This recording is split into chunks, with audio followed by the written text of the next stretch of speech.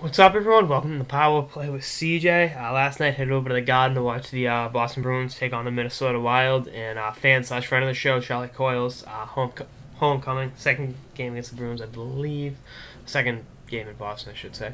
Um, you know, Wild got the big win. Charlie had, had himself a solid game, which was, you know, you got to take a go with the bat as a Bruins fan. So, you know, anytime Charlie plays well, you got to be happy. And the Bruins are continuing to play like, you know, pile of know, garbage fire, but that's a different story entirely, as their blue line is in absolute shambles with the Krug injury. Um, but subplot of last night's game. Uh, first time seeing Jason Zucker play in person since he played for the U.S. development team back in uh, 2009, and uh, it was good to see Zuko, you know, get out there, and I think he had himself an assist. Him and Charlie on, were on a line with Mikko Koivu, so definitely good to see.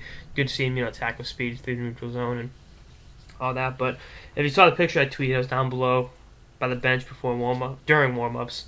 You know, I had the shirt, just kind of hook Zucker up with the shirt, and never came to fruition. Even look at me. It's kind of disheartening. Then when he's coming off the ice, I you know did like I acted like a four year old kid, had my hand out, hit my hand really really hard. Just like, what are you doing, bro?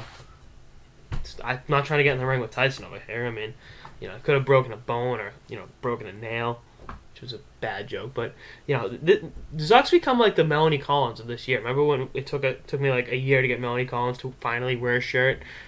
It's like that with with Zuck, and I, I, hey, it can't make me not like him. You know, I think he's a hell of a hockey player, and you know, pretty cool to see a kid from Vegas make it to the show. But you know, needs the shirt. You know, really complete being awesome, you know, the being awesome cycle. And I think, um, you know, having him rock a power play with CJ Minnesota Wild style shirt that I my T-shirt guy, meaning me, designed, um, you know, would be would be pretty cool. And you know, Charlie has one, you know, and I'm, I'm sure other guys in the Wild locker room do, but aren't open about it, and that's cool. You know, as long as you, you know what style is, I think that's a um, you know, that's that's a positive. So. Zuck, what's it gonna take? I can make a donation to a charity in your name for me and send you a shirt. I'll I'll do whatever. I'm a man of the people, and uh, you know the people include Las Vegas natives playing in the NHL. So um, definitely got to get that shirt out to him. And he, he said he'd wear one. It just saying you'll wear one and actually wearing one are two different things. It's it's like the, the John F. Kennedy speech: "Ask not what your country can do for you, but what you can do for the, your country." Somehow or another, it's relevant here. I just thought about throwing a JFK quote in there because I don't know.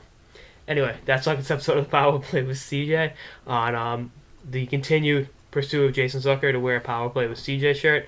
Stay tuned for episodes throughout the season and beyond. Later, guys.